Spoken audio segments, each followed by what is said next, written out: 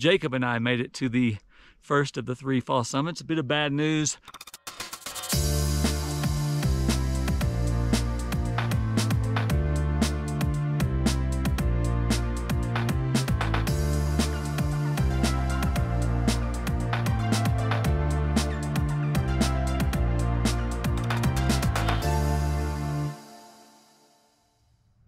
Good morning, guys. Once again, we are joined by Jacob for today's hiking adventure. And today we are taking on a big one. We're going to go after a summit of Mount Elbert. We'll tell you why that's significant in a little while. But for now, we better get moving. Let's go.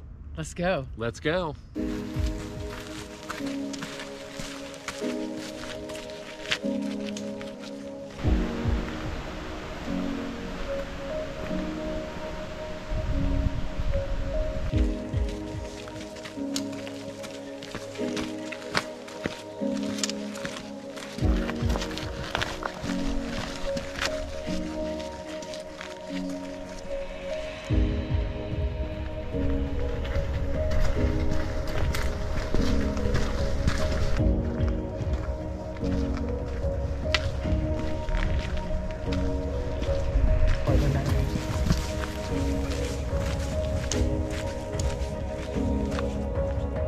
Well, we're about two miles into the trail and we have hit a definitely uh, steeper section of the trail. I think it's going to be, be like this the rest of the way up.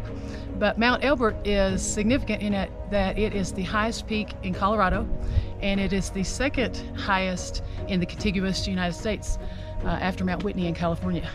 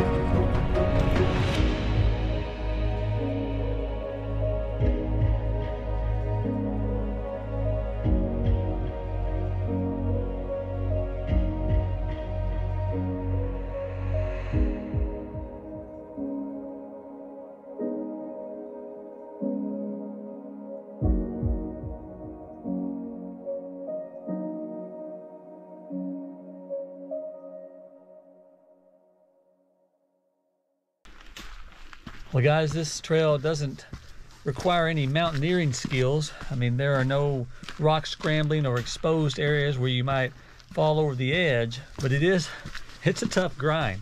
Uh, we took the North Mountain Trail, which is about nine miles on the out and back, but it has 4,500 feet of climbing, and it is just a relentless climb with very few easy sections. What you see up in front of us now, it's not the top, it is the first of a couple of false summits. And if we hadn't known these were coming, it would have been a little demoralizing to think you were there, but still had several hundred more feet of climbing uh, to go. But we, you know what, we've got a beautiful day and the views are even more breathtaking than the altitude is.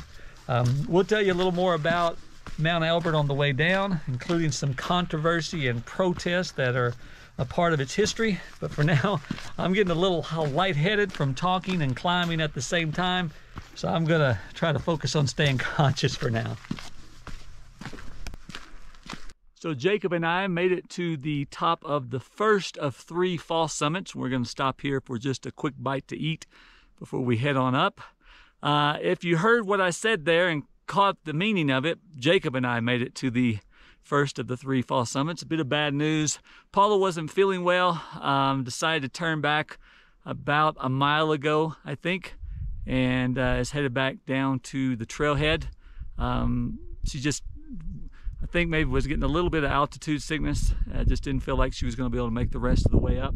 So she turned back. She's got her Garmin InReach Mini with her in case she runs into any trouble. Felt like she wasn't in distress or anything. Just didn't want to, just didn't feel up to making the climb all the way up. So we're going to finish this up and do it for her today, for all of you guys as well.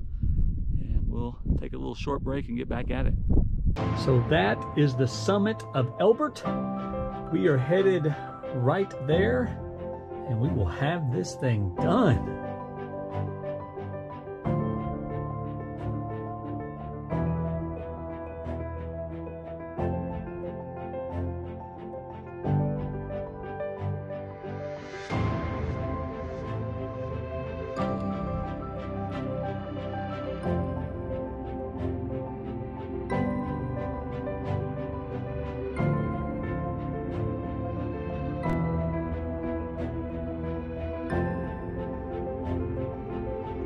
The final push.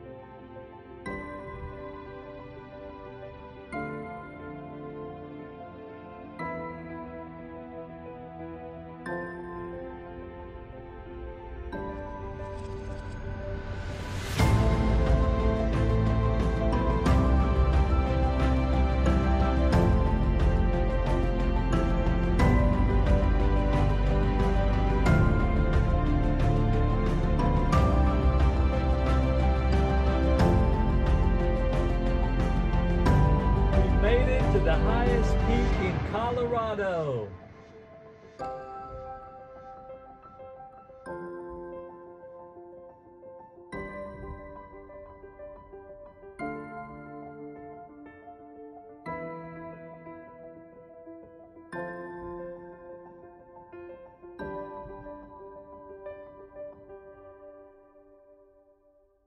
So as Paula mentioned earlier in the episode, at 14,440 feet, Mount Elbert is the highest peak in Colorado and the second highest summit in the entire lower 48 states. But originally, Mount Massive, which is Elbert's neighbor to the north, was measured as the highest. But when the area was resurveyed, Mount Elbert's elevation was found to be several feet higher than first thought and was officially recognized as the highest peak in Colorado. Now that led to an ongoing dispute between supporters of each peak, with Mount Massive proponents building large piles of stones on the summit to boost its height, only to have those who supported Elbert to tear them down. Today, Mount Elbert is recognized as the highest peak. And Jacob and I, we've summited both of them, and they are both amazing.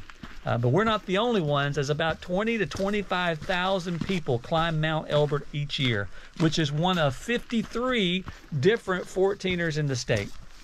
Well, after that little bit of history lesson, I'm eager to get on down to the trailhead and check in on Paula. So we're going to run as much as we can the rest of the way, even though after hiking and running Hope Pass yesterday, uh, with its 2,500 feet of climbing, our legs, they're kind of shot. If you haven't watched that episode, I hope you'll check it out too. Let's get on down. We did it! Yeah! Woo! Another 14 to done. Heck yeah.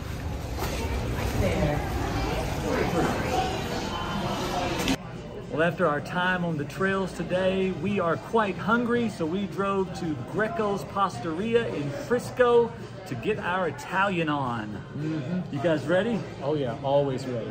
I'm always ready for Italian, you know that. Well, that's a consensus, so let's get started eating. All right, Jacob, what'd you get? I got penne bolognese. That looks delicious. All right, Paula, what did we get? We got the chicken parmesan. Yum, yum, yum.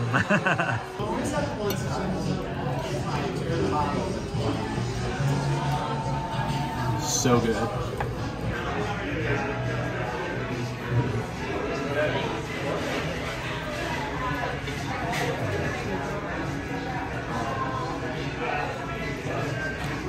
That hits the spot.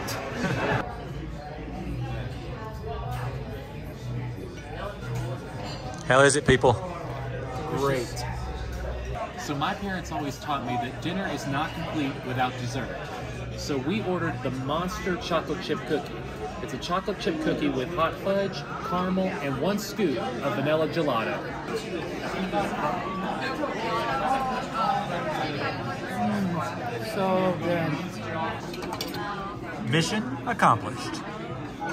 Well, Greco's Pastaria in Frisco was amazing, wasn't it? good. Certainly lived up to the hype of the online reviews. And so, if you find yourself in the Frisco area, we highly recommend that you give it a try.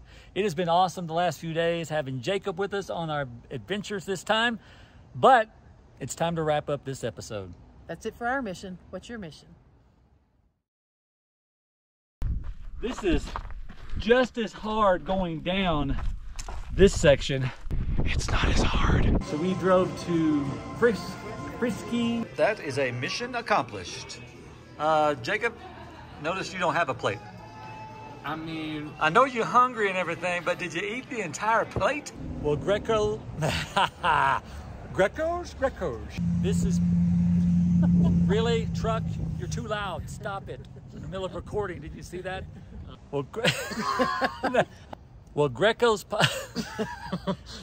Well, Greco's Pastaria. well, hey guys, it's Jimmy here. Our mission in every episode of this vlog is to share one of our fun-filled adventures with you guys. But our greater mission in life is to share our hope and happiness with you. One of the ways we do this is through a short faith-based thought for the day that I write. They take about a minute to read each day. They're free and they're available at finishlinefaith.com or facebook.com forward slash finishlinefaith. I hope you'll take a look.